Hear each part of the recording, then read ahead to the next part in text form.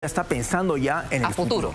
En México ya entró en rigor un decreto que establece como zona de reserva federal minera más de 200.000 hectáreas ricas en litio. El documento establece que México será el dueño y último beneficiario de sus propios recursos. Vamos a escuchar.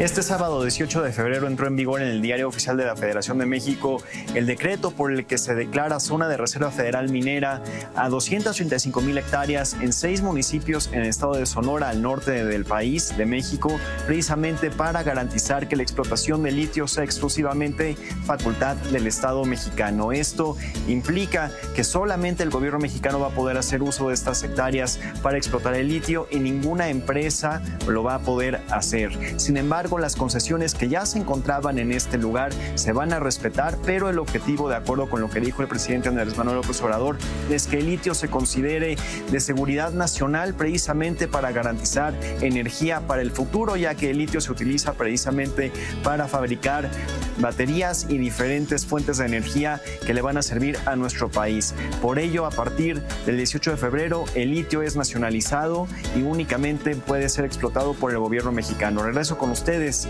Muchísimas gracias y muy buen día importante, el llamado oro blanco. El oro blanco, así es, el mineral del futuro, que se utiliza litio. Mucha gente nos está mirando y dice, bueno, ¿y qué se hace con el litio? ¿Por qué es tan importante? Claro, ¿qué sirve el litio? Las baterías de los, de los celulares, las, baterías de larga duración tienen este litio dentro de las baterías. Lo mismo pasa con los scooters, las bicicletas eléctricas. Aire acondicionado. Los autos eléctricos se utiliza también como un refrigerante en el aire, en el aire acondicionado. Se emplea también para el enfriamiento de reactores nucleares. Es, es una de las tantas variantes que tiene el litio. También tiene aplicaciones médicas. Lo interesante es que muchas veces hemos visto estos memes, información que circula en redes, que Puno tiene la mayor reserva de litio en el mundo. No es real. No está la mayor reserva de litio en el mundo. La mayor reserva de litio en el mundo está en el Triángulo del Litio.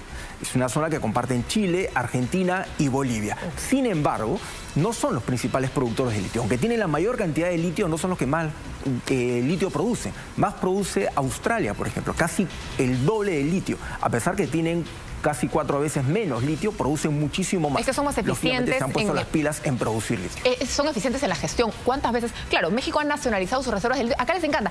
Nacionalicemos la reserva del gas. Esa es la típica, ¿no? Acá en Perú es este, la reserva del gas. Pero la refinería Talar ahí, bien gracias, duerme el dueño de los justos, duerme el dueño, ese elefante blanco que tenemos y así, o sea, México va a tener la capacidad de realmente producir el litio que necesita, porque la inversión es carísima. Es, enorme. Bolivia, por ejemplo, durante la gestión de Evo Morales, también creó su propia empresa nacional de litio. Se estatizó el litio, pero ahora se han dado cuenta, lógicamente, encuentran más litio y como tú bien señalas, es difícil, eh, producirlo, procesarlo. Entonces ya tienen un acuerdo, conversaciones con un acuerdo con una compañera, una compañía eh, minera alemana para garantizar la producción de litio. ¿Qué es lo peculiar? En el caso de Bolivia y de Chile y de Argentina, el litio es como si estuviese disuelto en lagos.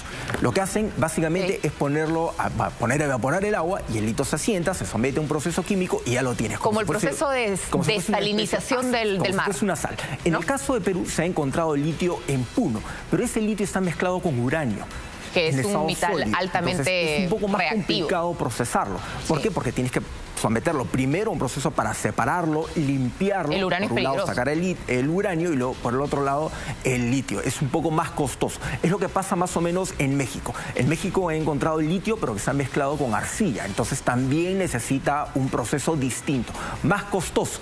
Eh, lo que explican las autoridades en México es que este proceso de limpiar este litio y separarlo no solamente va a ser más caro, sino también va a generar muchos contaminantes. Entonces, en nuestro país tenemos que ver también que se garantice, porque se ha mezclado con uranio, que este desecho que queda este, se almacene de manera correcta y no termine causando una tragedia ecológica. Es sumamente peligroso, pero además eh, hablamos de que la reserva está en Puno. En Puno, lamentablemente, una región que está paralizada, donde no puede ni siquiera circular un vehículo entre Bolivia y, Puno. ¿Qué posibilidad tenemos realmente ahorita de explotar un metal blando? Realmente ninguna. O sea, está ahí, pero todavía no se puede hacer nada. Y como te mencionaba, no se trata de tener la mayor cantidad de reserva o tener una reserva, sino de optimizar cómo la produces, cómo la explotas y cómo la vendes al, al exterior, porque no te la puedes quedar tampoco. Pero vamos a cambiar de tema.